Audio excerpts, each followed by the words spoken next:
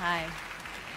It takes a lot of ingredients to bring an unforgettable character to life. It's great if they look cool, and even better if they have a unique silhouette. But to really make a character come to life, you need to find the actor that captures the voice of the character. Like, who could imagine Metal Gear without the voice of David Hayter? Sorry, that was a bit mean.